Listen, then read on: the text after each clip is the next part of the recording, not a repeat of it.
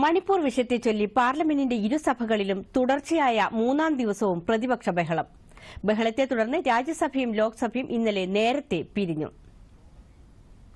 ലോക്സഭയിൽ നടപടികൾ ആരംഭിച്ചപ്പോൾ തന്നെ പ്രതിപക്ഷം പ്ലക്കാർഡുകളുമായി നടുത്തളത്തിലിറങ്ങി. ചോദ്യോത്തരവേളയ്ക്ക് ശേഷം ചർച്ചയാകാമെന്ന് സ്പീക്കർ ഓം ബിർള മറുപടി നൽകിയെങ്കിലും പ്രതിപക്ഷം പ്രതിഷേധം തുടർന്നു.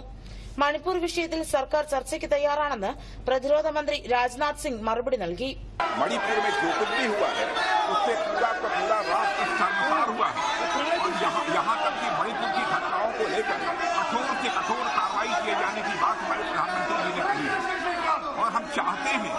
कि मणिपुर की घटना पर संसद में चर्चा हो രണ്ടു മണിക്ക് ലോക്സഭ വീണ്ടും പുനരാരംഭിച്ചപ്പോൾ മണിപ്പൂർ വിഷയത്തിൽ സഭയിൽ ചർച്ചയ്ക്ക് തയ്യാറാണെന്ന് കേന്ദ്ര ആഭ്യന്തരമന്ത്രി അമിത്ഷായും പറഞ്ഞു വിഷയത്തിൽ സത്യാവസ്ഥ രാജ്യം അറിയേണ്ടത് പ്രധാനമാണെന്നും അദ്ദേഹം ലോക്സഭയിൽ അറിയിച്ചു मेरा विपक्ष के सभी सम्मान्य सदस्यों से मेरा आग्रह है कि एक बहुत संवेदनशील मुद्दे पर काफ़ी सदस्यों ने सत्ताधारी दल के और विपक्ष के दोनों ओर के सदस्य ने चर्चा की, मांग की है। ഭരണപക്ഷം ചർച്ചയ്ക്ക് തയ്യാറാണെന്ന് പറഞ്ഞെങ്കിലും പ്രതിപക്ഷം ബഹളം തുടരുകയായിരുന്നു. വായ്പാ തിരിച്ചടവ് സംബന്ധിച്ച കാര്യങ്ങൾ അനുഭാവപൂർവം മാനുഷികമായി പരിഗണിക്കാൻ കേന്ദ്ര സർക്കാർ എല്ലാ ബാങ്കുകൾക്കും നിർദ്ദേശം നൽകിയിട്ടുണ്ടെന്ന് ചോദ്യോത്തരവേളയിൽ കേന്ദ്രമന്ത്രി നിർമ്മലാ സീതാരാമൻ പറഞ്ഞു. I know I heard complaints about how very mercilessly the paying back uh, has been followed up by some banks, whether they are public sector banks or private sector banks. The government has made sure through the RBI also to instruct such banks that such harsh steps should not be taken.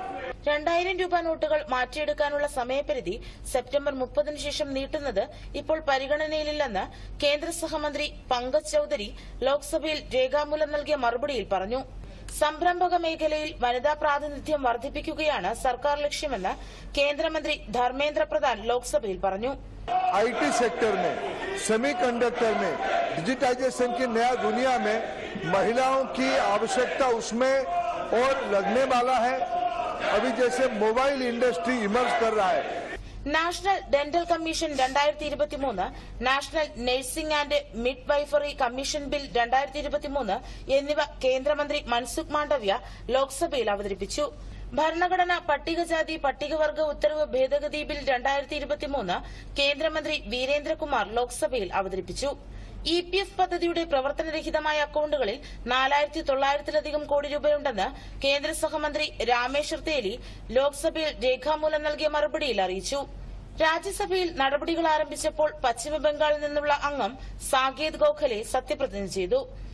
അതിനിടെ മണിപ്പൂർ വിഷയം സഭയിൽ ചർച്ച ചെയ്യണമെന്നാവശ്യപ്പെട്ട് ചെയറിലേക്ക് അതിക്രമിച്ചെത്തിയ A A P രാജ്യസഭാംഗം സഞ്ജയ് സിംഗിനെ chairman Jagdeep Dhankhar സഭയിൽ നിന്ന് സസ്പെൻഡ് ചെയ്തു. നടപ്പ് സമ്മേളനം അവസാനിക്കുന്നതുവരെ അംഗത്തെ സസ്പെൻഡ് ചെയ്തതായി ചെയർമാൻ അറിയിച്ചു. രണ്ട് മണിക്ക് പുനരാരംഭിച്ച രാജ്യസഭയിൽ എം പി സഞ്ജയ് സിംഗിനെ സസ്പെൻഡ് ചെയ്തതിൽ പ്രതിഷേധിച്ച് പ്രതിപക്ഷ എംപിമാർ ബിസിനസ് ഉപദേശക സമിതി യോഗത്തിൽ നിന്ന് ഇറങ്ങിപ്പോയി. ഇതോടെ സഭ പിരിയുകയായിരുന്നു. തുടർന്ന് പാർലമെന്റ് നടപടികൾ സുഗമമായി നടക്കുന്നതിനായി ഉപരാഷ്ട്രപതി ജഗ്ദീപ് ധൻഖർ പാർലമെന്റിലെ എല്ലാ കക്ഷികളുടെയും നേതാക്കളുടെ യോഗം ചേർന്നു. News desk Doordarshan.